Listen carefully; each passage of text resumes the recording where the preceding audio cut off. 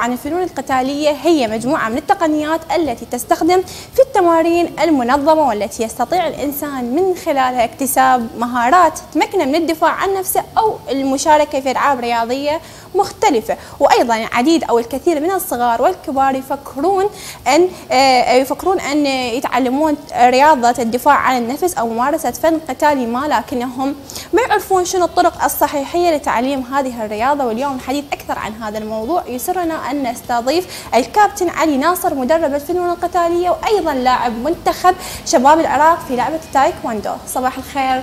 أستاذ علي. صباح الخير أهلا وسهلا. آه، طبعا اليوم نورتنا بوجودك ويانا. شكرا. آه، اريد نعرف أول شيء تعرفنا آه، الفنون القتالية. شنو تعريفها؟ طبعا هي الفنون القتالية هي نعم. لعبة لممارسة يعني للدفاع عن النفس.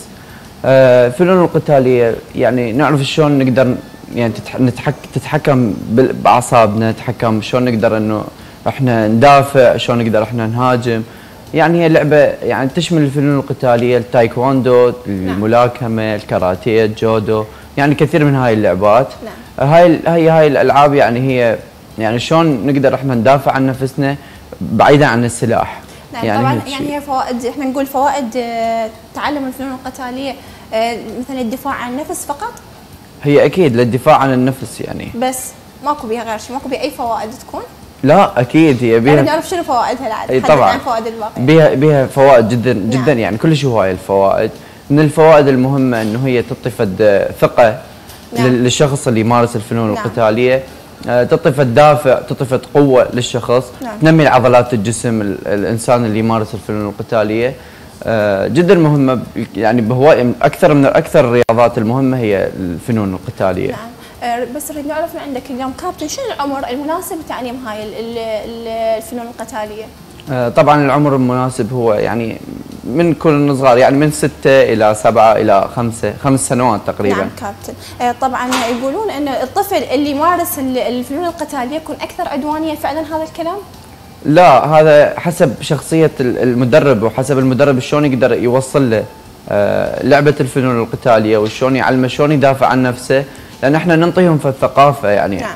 أول شيء إحنا مو بس ندربهم إحنا لا نوصلهم في الثقافة ونعلمهم شنو شنو هي الفنون القتالية نعم. يعني شلون يقدرون هم يدافعون عن نفسهم يعني ما نعلمه إنه هو يهاجم لا نعلمه إنه هو بس يحاول يدافع عن نفسه ويحاول إنه هو يقوي جسمه ويقوي عضلات جسمه نعم طبعا هاي الصور نشاهدها هاي تع- تعليم الأطفال إي هاي يعني كان كان جانب التدريبات الوحدات. التدريبيه إنه يعني عندك آه، يعني نقول إحنا هواية مجموعة من الأطفال مثلا تعلمهم على الفنون القتاليه يدخلون في هيك تستقبل يعني أنت مجموعة كبيرة من الأطفال لو تشوف هاي مثلا الرياضه أو الفنون القتالية آه، ما يجون عليها هواية آه، مثلا من الأطفال أو الكبار لو تشوف يعني إقبال عليها يكون. لا طبعا حاليا بال- من الأهل إنه قاعد يدزون أطفالهم ممارسة الفنون القتالية. يشوفوها فد يعني وسيلة للدفاع عن النفس وفت يعني من الرياضات المهمة يعني اللي هي تفيد ال تفيد ال ال يعني الإنسان اللي يجي. يمارسها. نعم. آه، كابتن علي كل أنواع الفنون القتالية تقدر تعلمها للطفل؟ أنا تقريبا يعني دخلت دورات تدريبية. نعم. آه، التدريب الفنون القتالية بصورة عامة. يعني ندربهم مثلا على اللياق آه، عن الملاكمة وعن الكاراتيه وعن التايكواندو. آه، حصص كلها تدريبية كلاسات خاصة.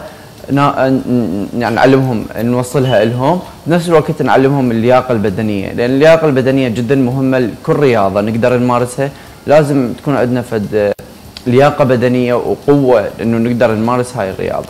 نريد نعرف أي رياضة هي الأصلح تكون للأطفال في تعليم الفنون القتالية؟ أي رياضة تقدر تستخدمها بالبداية؟ هي ماكو فد رياضة محددة بالبداية. طبعا الطفل هو فد أساس. أي طفل أو بهيك عمر عمر صغير هو نعم. أساس. شلون نقدر إنه إحنا نوصل له هاي الرياضة؟ شلون يقدر إنه هو يتقبل هاي الرياضة؟ أكو أكو أطفال بداية يعني التمارين الرياضية إنه ما يتقبلون راسا العنف وراسا الضرب. لا إحنا شو نسوي؟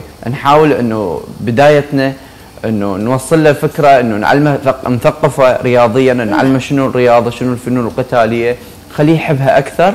بعدين نبدي إنه إحنا تدريجي نصعد range شو وقت إنه إحنا نوصل له القتال ونوصل له ال touch اللي يصير بيناتهم والعنف والضرب. نعم.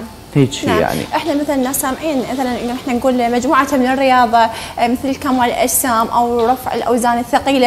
هاي عادي مثلا إذا واحد يفوت بها من عمر نقول بعد ال بعد العمر المبال. البلوغ نقول أو المراهقة. بس اليوم الفنون القتالية لازم يكون هو طفل يتدرب ما يكون مثلا ما يصير هو مراهق أو نقول فترة البلوغ يعني تقريبا هو لازم على مود شنو يبدي يدي يتعلم أكثر آه، لأن هي فد يعني فد موسوعة وفد عالم آخر الفنون القتالية. يعني لازم يكون هو طفل يتعلم هاي الرياضه مو لا يعني هي تقريبا لازم لأنه يعني شلون يقدر يتطور أكثر بسرعة؟ لأن إحنا يوصل لسن الشباب إنه لازم يعني مثلا يصير بطل أو يصير لاعب شلون؟ قابل هو يصير يعني فد من المراهقة أو سن البلوغ. على مود هو من الصغر هو تبدي وياه هاي الرياضة آه بداية يتعلم شلون فتح الحوض اللي هي يقوم يعني يفتح 180 نعم. من عمر صغير تكون عضلاته يعني راخية ويقدر إنه يفتح. مثل نعم. ما يكبر شوي شوي لا راح تبدأ تنشد و وتقوم يعني بها فد صعوبة. نعم. يعني تنفتح رجليه نعم نعم كابتن فهم يجون يمارسوها آه، برياض يعني بأعمار صغيرة. على مود آه، يعني يقدر يتطور ويا الرياضة. على مود يصير عمره تقريبا 20 إلى 22 سنة راح يقدر آه، شلون يعني آه، يشارك في بطولات ويشارك كل ما يكون سني أصغر وكل ما أتعلم أكثر. راح أستفاد أكثر وراح أتطور. نعم. آه كابتن علي اليوم نريد نعرف شنو المواصفات اللي يمتلكها الطفل حتى يقدر يدخل الفنون القتالية؟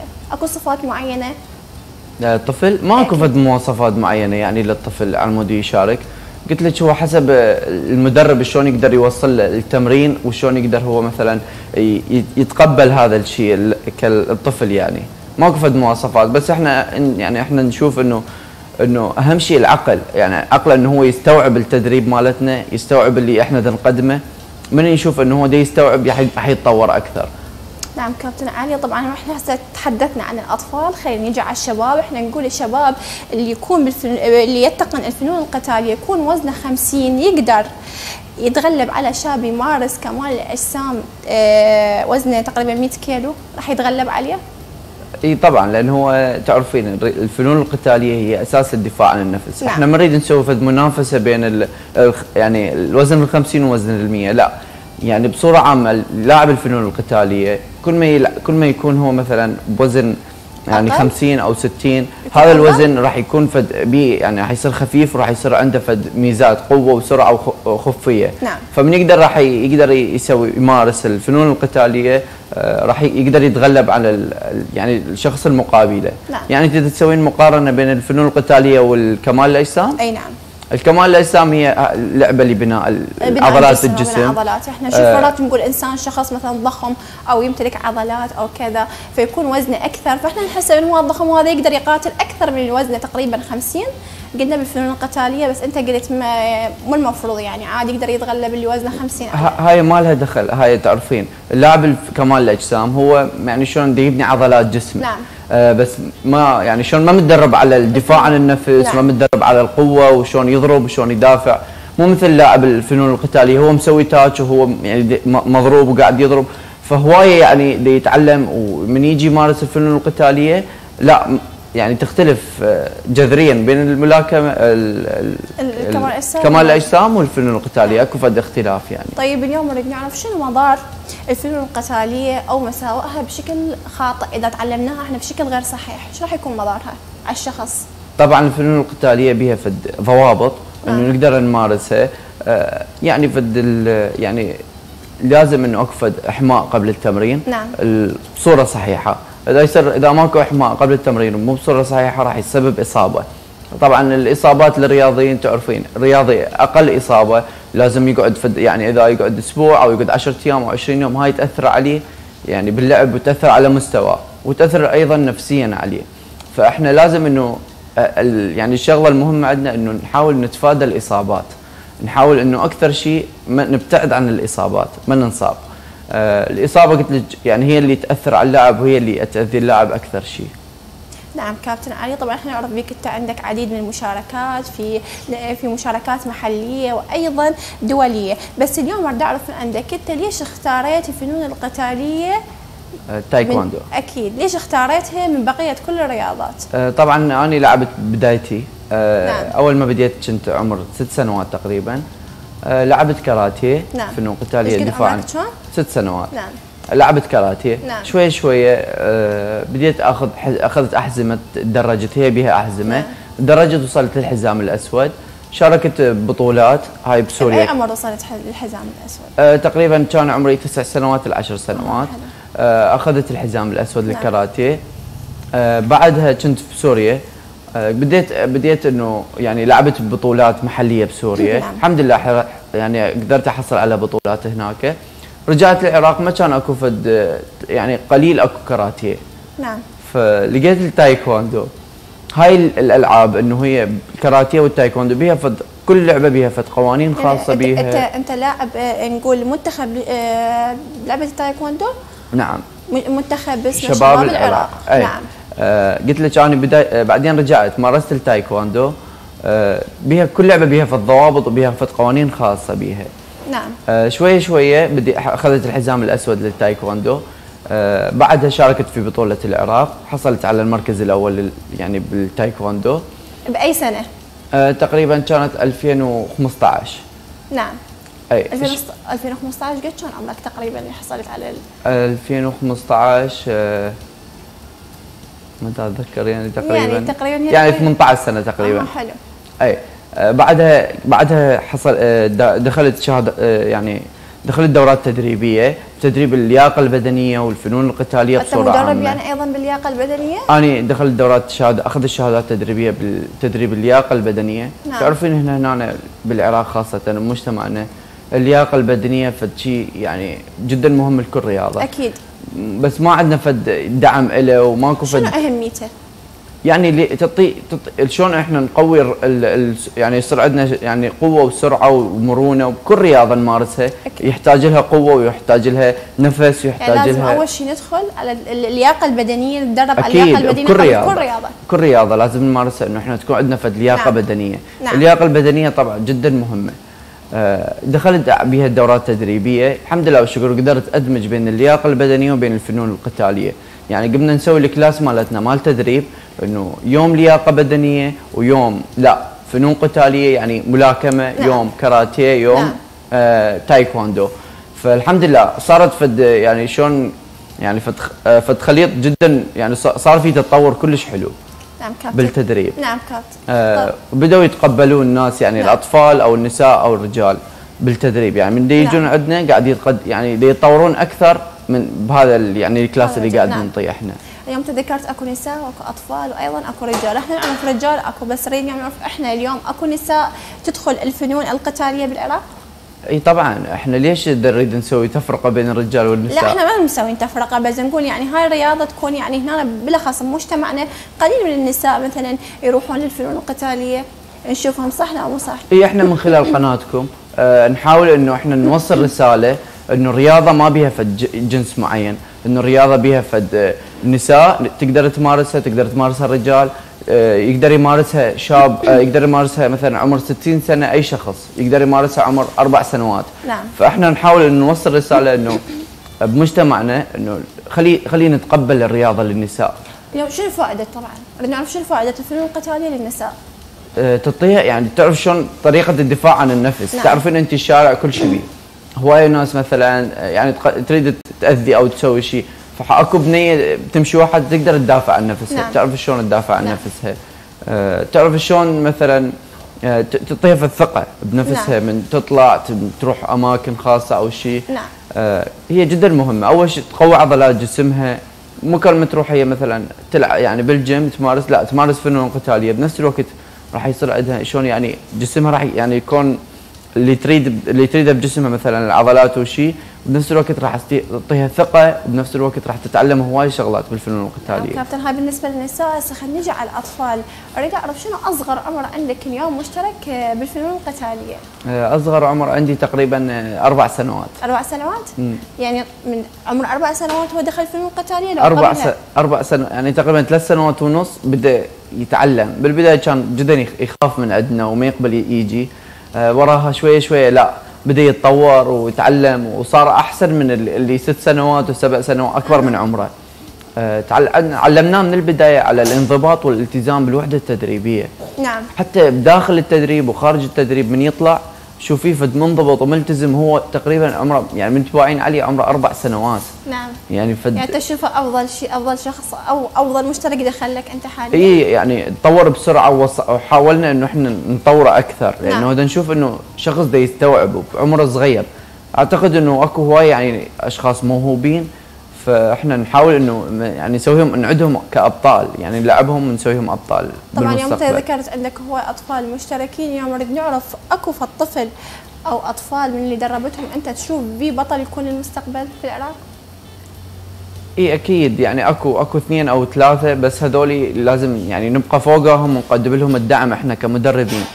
أه تعرفين الأهل وال- والمدرب لازم يكون فوق اللاعب يعني دائما وياه. يعني يعلموه حد ما يوصلوه ولحد ما هو مثلا مثلا إحنا نعرف الأخطاء أنا كمدرب أعرف شنو الأخطاء وأعرف شنو الشغلات اللي اللي من يوصل هاللاعب اخليه يتفاداها ويبتعد عليها. بنفس الوقت الأهل لازم ينطوه فد وقت لازم ينطوه فد دعم لازم يشجعوه. نعم. على مود نقدر نك- نكمل ويوصل يعني فد شيء بالمستقبل. نعم كابتن. كابتن طبعا رغم صغر سنك بس أنت نشوفك يعني ناجح بهذا المجال. شنو سر النجاح؟ أه والله سر النجاح إنه أنا قلت لك بديت باول شيء كان عمر صغير بديت فيه أه بنفس الوقت حاولت إنه أبقى بهاي اللعبة استمر. أه ظليت أصر رغم الإصابات رغم ال ال رغم إصاباتك مثلا أهلك أو اولياء أو ولي امرك والدك أو والدتك آه، ما نصحوك بأن تترك هاي الرياضة لأن شافوك دائما تواجه إصابات؟ هم مو هم يعني أكثر شيء يعني حاولوا إنه يقدموا لي الدعم ويشجعوني بهاي اللعبة. دعموك؟